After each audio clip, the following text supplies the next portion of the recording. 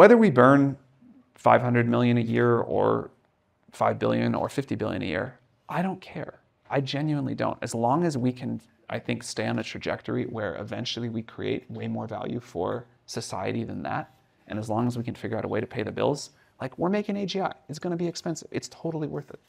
And so, and so, do you have a? I hear you. Do you have a vision in 2030 of what? If I say you crushed it, Sam, it's 2030. You crushed it. What does the world look like to you? Um, you know, maybe in some very important ways, not that different.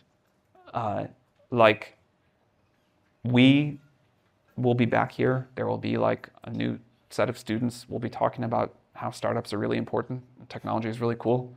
We'll have this new great tool in the world.